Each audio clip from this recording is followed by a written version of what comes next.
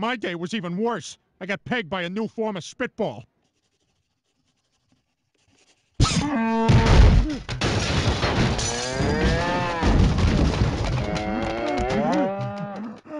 Hey, get up, you faker. It's just a spitball.